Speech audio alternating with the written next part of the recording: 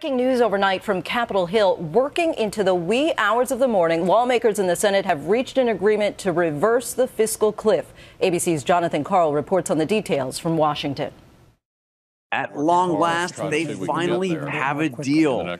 Late last night, Vice President Biden went to Capitol Hill to convince Senate Democrats to pass it. I think we'll get a very good vote tonight, but Happy New Year.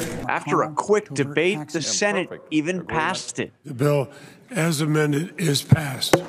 Now, the big question can it pass in the House? Technically, everybody's taxes have already gone up, the tax cuts have expired.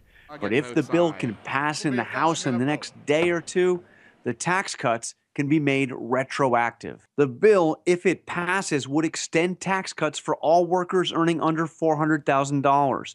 It would prevent a big tax hike on estates valued at less than $5 million, and it would extend unemployment benefits set to expire today for some 2 million people. Even as they closed in on that deal yesterday, congressional Republicans were not happy with what they heard from President Obama, who held a campaign style event at the White House. I'm going to be president for the next four years, I hope. Effectively continuing the partisan bickering we've long seen. It's time to stop the cheerleading. It's time to stop the campaigning. I know the president enjoys heckling and having pep rallies to try to get Congress to act instead of sitting down and actually negotiating.